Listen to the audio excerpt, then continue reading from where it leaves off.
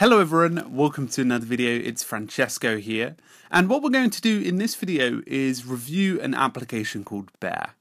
And for those who don't know, Bear is a note-taking application on iOS and Mac that is essentially a premium note-taking experience.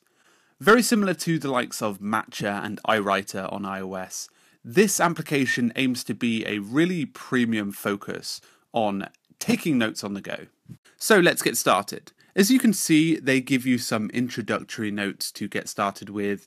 Uh, as you can imagine, these are designed to help you onboard uh, successfully with the app, explaining how visually all of these notes can look as you start learning all of the ins and outs of Bear. So Bear has a really simple sidebar that helps you organize all of your content. So you've got notes, trash, and hashtags. And once you go into creating a new note, uh, you can actually go into a lot of detail.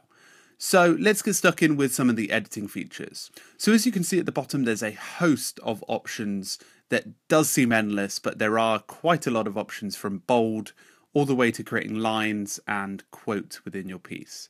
So to get started, you can actually start with a header. Uh, you can change your header to header one, header two, header three, uh, quite ranging from quite big to quite small. Uh, this works quite nicely. Um, I also liked the fact that you can insert lines. Uh, I over inserted them here, but as you can imagine, you can insert as many as you like, which is quite cool. It helps break up the text too. The one thing that I'll demo here is what it looks like when I'm creating a meeting agenda, for example. So what I'd start with here is I'd start with bullet points. So you can start the bullet points from the options bar as well, which is quite good. Uh, the bullet points appear quite rich as well with the, the colour uh, that you start off with in the themes, which I'll go into detail in a bit. You can also attach number bullets as well, so 1, 2, 3, etc., and also checkboxes. So if you did want to create a task list inside of Bear, then you can do.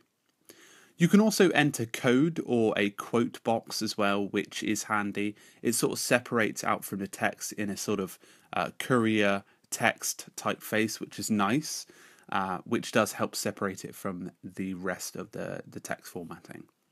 The other thing you can do as well is obviously attach anything you like. Um, you can attach from iCloud, uh, Dropbox, or Gmail, which is very good. And you also have movement buttons as well. So if you've got a really uh, text intensive uh, note going on, you can actually use the buttons on the tab to actually navigate through. The one thing you can do as well is obviously strike through any text as well. Uh, that's again in the options bar as well. Uh, you can also add new headers as you go throughout. Uh, so that's simply just by hitting the H button and you can choose those optionality there. Now, there is obviously a camera. Uh, the camera is built into this option bar, so all you have to do is scroll across, hit camera, and you can add images inline, which is quite good. Uh, there's no editing, which is slightly weird, and I'm very used to reshaping stuff inside of Matcha. Uh, Matcha does have that and makes it sort of a bit more appealing, but uh, I was very impressed by this setup. If you want, you can change in the settings whether it appears as a thumbnail or simply as a full bleed image on the page. There's other things as well, so you can actually share this uh, directly. You can copy the link to the note. Uh, but what I notice is when you share it via email, for example, um, the email actually just takes all of the text formatting. It doesn't send it in a link or anything like that, which is I think is great. So if you made this really long note or you made this really long agenda, you can simply send that straight away. But the odd thing is it doesn't actually add in images which is strange. But you can share the images directly to somewhere like Instagram or any of the options that you had on your phone's sharing features. So, the other thing that's nice is obviously the hashtags that connect notes together.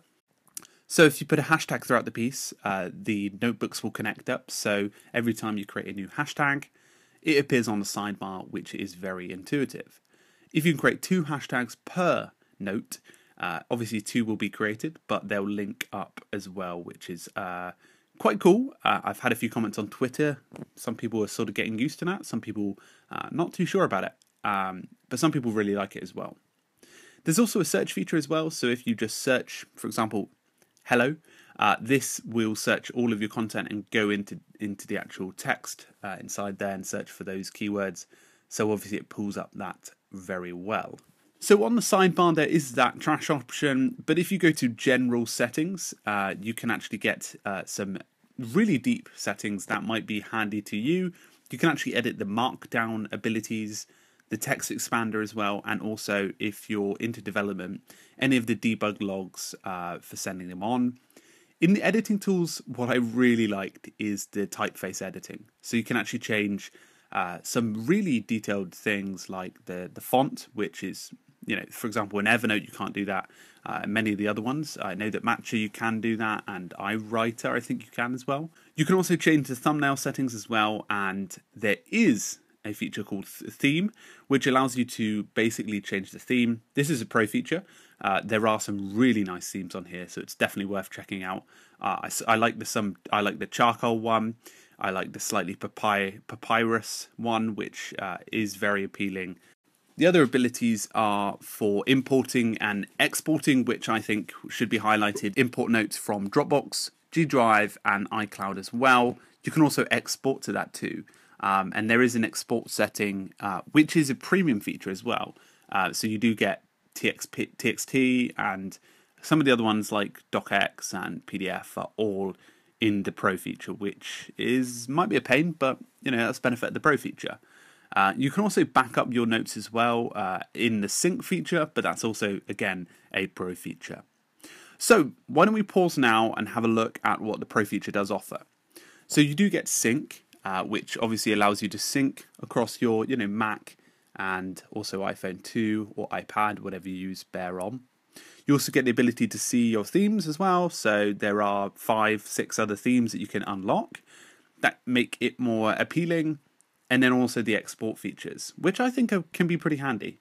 Um, imagine you know you're in a meeting and you want to create all these notes pretty fast, but you want to use a really uh, nice looking uh, te- like note editing tool. So this could be really handy both on Mac and uh, on your iPhone too. You can also cancel anytime. So the Pro is that for month is one forty nine per month, which is reasonable, and the year is thirteen ninety nine for the year. Uh, that's 15% off, so as you can imagine, more cost effective. You only get sort of a free month thrown in there, which is pretty good. Um, but yeah, I mean, one thing I really like about this app, it's, I mean, I tested this in beta. I was very lucky enough to test it in beta. Very impressed. I really like the overall experience. The gestures are lovely. The graphics are impressive. Um, there's a few Easter eggs, uh, so when you see, uh, you can see graphics appear, which is quite nice. Um, I'm going to play around with this for the next few weeks. I'm also going to try out the Mac app too. But I think this has a real uh, competitiveness against the likes of Evernote and iA Writer and even Matcha as well. But anyway, guys, that is my review of Bear. I hope you enjoyed it. Uh, let me know of your opinion on Bear so far. I know a lot of you are downloading it because it's free at the moment, and that's one of the benefits. There is a freemium section of it. So do let me know what your thoughts are, and I'll definitely uh, be engaging with you about those. Thank you very much, everyone. Make sure to have a great week, keep productive, and I'll see you guys very soon. Cheers.